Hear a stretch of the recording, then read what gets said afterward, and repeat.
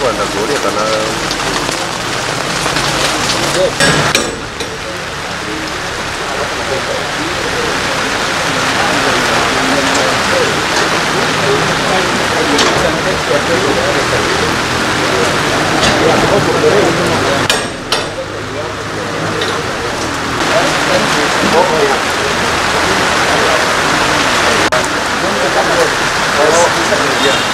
Yeah.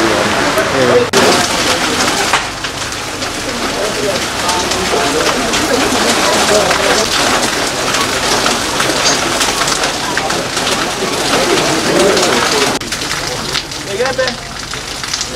Erik. Geriye hay. Gida Jerry. Gida Erik. Erik.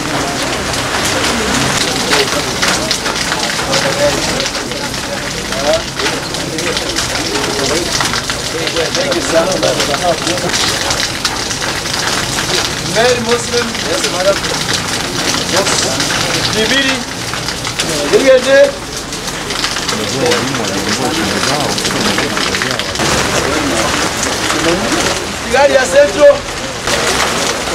West.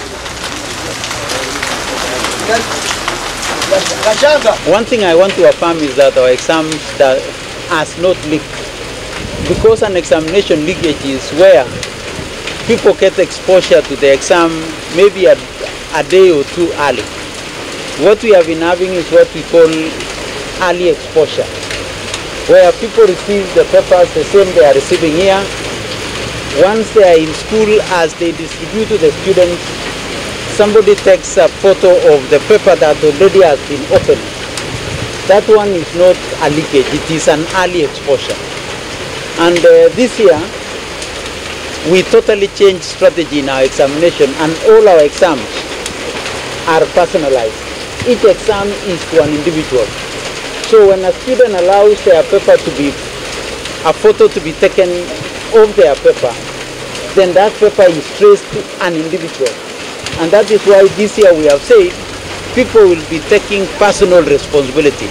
We shall not be condemning an examination center or school or we are not condemning a whole, if we have uh, 20 invigilators and one of them was careless, then we shall deal with the individual.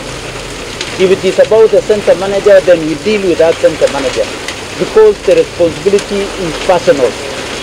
It is not a shared one. When you are given an exam paper, that is your exam paper. If you allow your exam paper to be played around with, it is you who will suffer for it. And I'm very grateful with our colleagues from Teacher Service Commission because they have been very uh, fast. Where we need to change the center manager, they have been very quick in doing it. Where we need to, to, to take away all the personnel in uh, an examination center, they have done that. So our multi-agency team has worked very well. From the Ngao team led by the county commissioners, deputy county commissioners, our regional commissioners, the security team again led by the same team through the county, sub-county security committees. Our colleagues in the Ministry of ICT have done a very good job in dealing with the cyber crime. So we have had a quite a good run. We've been doing examination for quite some time, but I can say with a lot of confidence this year's exam has been handled in the best way that we could do. On grade 9, we did we did this in two phases. There was phase one which we did 3,500 classrooms. Those ones are all 100% ready. We have been commissioning. I commissioned uh, more than 10 yesterday. I'll be commissioning quite a number today in Meru, in Tharaka Nithi, and in Embu.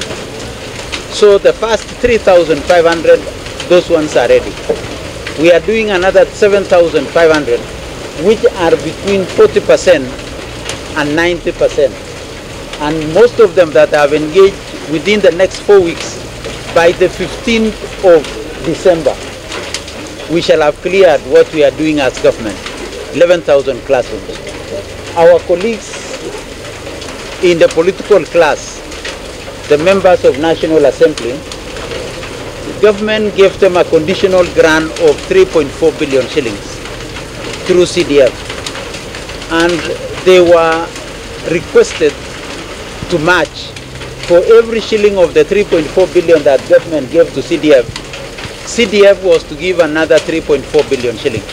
So that in total, our MPs is handling another 6.8 billion shillings, which will do for us another 7,000 classrooms. Plus our 11,000 classrooms, we, in, we intend to have done 11,000 class, is 18,000 classrooms before January. We have also engaged with some of our partners and uh, we have another 2 billion shillings which we shall do to do which we shall use to do another 2,000 classrooms and we are saying that uh, we are uh, we know in January there might be one or two, three, a few schools which may have been missed out for one reason or the other and these 2,000 classrooms will be able to handle any cases that may arise in January. You know also sometimes people do migrate, sometimes children and parents change schools. A school may receive another additional 50 kids in grade 9 who are not there in grade 7, in grade 8. So these are cases that we shall be able to handle as we go into January.